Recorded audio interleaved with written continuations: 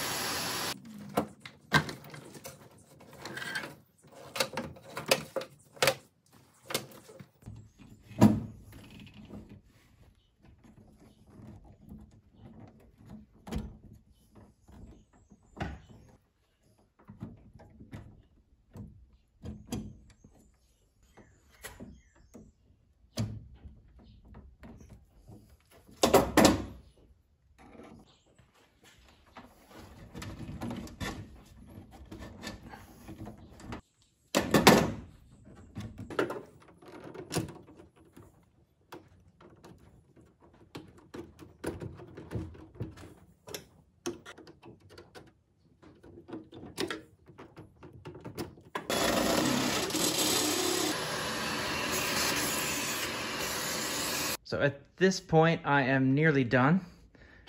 A whole lot of work so far. um, so I've got the cabinet and the DIY batteries in the on the bus bars here. Um, if I had to fill all 12 slots here, I would definitely be a little bit tighter and more managed with it, but there's, I still have plenty of lugs, so I'm a little crooked. I've got the the best way these T-class fuses worked is crooked, which isn't going to matter. Nobody's going to see inside here besides me and you guys. Uh, and yeah, it all fit. Uh, but yeah, I, I mean, I figured with an 8x8, there'd be, it would look like a football field inside empty, but there's actually, it's, there's a lot of stuff going in here if you put the bus bars and everything in the box. So yeah, there's actually if you did the bus bars outside of the box and did, you know, any kind of fusing outside, then it would probably be uh, a little less cramped, but I wanted everything to be in there. So the PV is still a little messy here. I've got a combiner box up here. Um, and I'm actually going to be moving that combiner box to put uh, a spot to test inverters right there. So I'm going to have a little test spot to test uh, inverters at some point. So I'm going to move that so I have extra PV here. I'm going to be stretching all that in that direction. And I'm going to put a disconnect back there. so in the moment, at the moment, I don't have these in a conduit yet, uh, any of the PV wire. But that's about the messiest part of it. Uh, I went with the Nader breakers from Signature Solar. They kind of made it a little bit of a cleaner uh, setup here at the end. The uh, they're really cool little little cabinets. Um, when they stay closed, right? no, there goes. So I could have done, uh, I, I used flex conduit because that's what I had originally. And I could have actually done some stretches here too. It really doesn't matter to me though. But you always pick at stuff later. And then I also thought I should have just done, but I was in that three quarter uh, flex conduit kind of mode, so I didn't think about it, but I could have done uh, inch and a half, just one here, and, and put everything into my disconnect from there. But instead, I ran two of them uh, because that's what I had before, so I guess that's kind of where that came from. But yeah, I'm nearly finished. All the AC wiring's done. I had to redo all that from the input from the house. And then I had to redo all the outputs because it was different lengths over to the disconnect. Actually, from that point though, luckily I didn't have to do anything to my breaker box. But yeah, all new AC wiring to and from the inverters. Uh, basically, everything DC side had to be redone. The PV had to re be redone, so a lot of work. Yep, nearly done. I'll, I'll show you guys a completed video here at the end.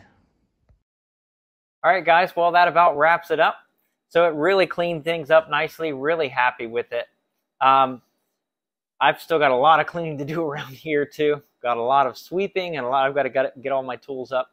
So what I would say is though, I've got a couple of key words of advice here. So uh, if you're going to be doing one of these projects, consider getting a hole punch to punch all these holes. These step down bits do work uh, as long as you're willing to wear long sleeves, gloves, glasses, uh, uh, ear protection. So there, it's really noisy and it shoots shavings all over you. It's it's uh, it's not fun. But this is actually the second one of these I've done, and uh, you know they do work. They're cheaper, so it's up to you guys. If you if you're willing to spend a little extra money, it's a whole lot easier uh, and cleaner to get those. You won't have to vacuum up all the shavings and everything. So then the second thing would be make sure to ground your wireway. I don't want anybody to forget that. You don't want this, if anything were to come in contact AC or DC with this, for this to become a conductor. So make sure you have this tied to ground, earth ground, and that will eliminate any issues with that.